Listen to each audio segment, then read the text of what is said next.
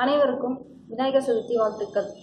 இந்த நாளில் நமது மாவட்டத்தின் மிக பழமையான விநாயகர் சிலையை பற்றி ஒரு செய்தி உங்களுக்காக. காவேரிப்பட்டினம் தட்டக்கல் வரலாற்று பொக்கிஷம். இவ்வூரின் கூத்தாண்டேஸ்வரர் பெருமாள் கோயில் அருகே இருந்த விநாயகர் சிலையை பற்றி நமது கிருஷ்ணகிரி வரலாற்று ஆய்வு மற்றும் ஆவணப்படுத்தும் ஆய்வுக்குழு ஆய்வு செய்தது. அதன் விளக்கத்தை நமது அருங்காட்சியக காப்பாட்சியர் அவர்கள் கூறுவார்கள். தட்டக்கல்ல வந்து கூத்தாண்டேஸ்வரர்னு சொல்லிட்டு இந்த ஊர் மக்களுடைய குலதெய்வமா இருக்கு. அந்த கோயில் பக்கத்துல இந்த சிலை இருந்தது. இதை வந்து இப்ப புதுசா கோயில் கட்டும்போது இதை வச்சு பிரதிஷ்டை பண்றதுக்காக அங்க கொண்டு வந்து வச்சிருக்கிறாங்க. இந்த சிலையினுடைய அமைப்பு பா- பார்த்தோம்னா வழக்கமான விநாயகர் சிலைகள்லாம் மாதிரி இல்லாம மிகவும் தொன்மை வாய்ந்த ஒரு சிலையா இருக்குது. அந்த தொன்மையை சொல்ற மாதிரி இதனுடைய தலை பார்த்தீங்கன்னா ஒரு ஒரு குட்டி யானையினுடைய தலை. அதே மாதிரி அதனுடைய மகுடம் ரொம்ப மிக சிறிய ஒரு மகுடம்.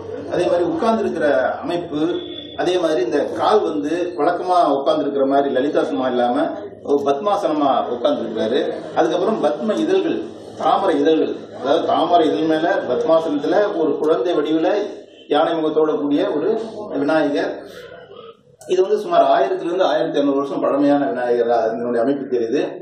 அந்த காலகட்டத்தில் வந்து கங்கர் மன்னர்கள் வந்து பல்லவருடைய கீ- ஆட்சியின் கீழே ஆட்சி புரிஞ்சிருக்காங்கன்றது நிறைய தகவல்கள் நமக்கு கல்வெட்டுகள் சான்றுகள் கிடைக்குது. அதனால அந்த கங்க மன்னருடைய காலத்தில் உருவாக்கப்பட்ட விநாயகர் சிலையாக இது இருப்பதற்கு பெரும் வாய்ப்பு காணப்படுகிறது.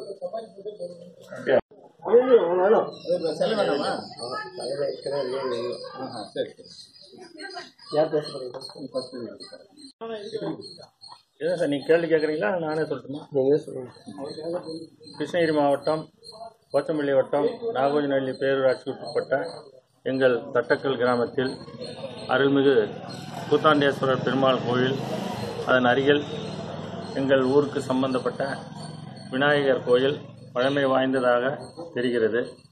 அந்த விநாயகர் சிலையை அருங்காட்சியகத்தினர் திரு கோவிந்தராஜ் சார் அவர்கள் நேரில் பார் பார்வையிட்டு அதனுடைய வரலாற்று இந்த ஊரில் நம்ம இப்போ பார்த்த விநாயகர் வந்து மிகவும் பழமை வாய்ந்த விநாயகர் மாதிரியான ஒரு உருவ அமைப்பில் காணப்படுகிறார். இந்த உருவ அமைப்பு வந்து ஒரு பல்லவர் காலத்து விநாயகர்ன்றதை காட்டுது. இந்த பல்லவர் காலத்துல இந்த பகுதியில் வந்து கங்க மன்னர்கள் ஆட்சி செய்ததா நிறைய கல்வெட்டுக்கள் பெருமுகை அப்படின்ற ஊர்ல போர் நடந்து அதுக்கான நடுகள் எல்லாம் நட்டிருக்காங்க. அந்த நடுகள்லாம் இப்போ வந்து பாத்தீங்கன்னா இப்போ தருமபுரி மியூசியத்தில் இருக்கு அந்த நடுகள்லாம். அதில் வந்து கங்கர்களுடைய ஆட்சி இந்த பகுதியில் இருந்தது மிக தெளிவாக தெரிகிறது. அதே மாதிரி தான் அந்த விநாயகர் பார்த்தீங்கன்னாலும் அந்த கங்கர்களுடைய காலத்தில் செய்யப்பட்ட விநாயகருக்கான இலக்கணங்கள்லாம் இருக்குது அதாவது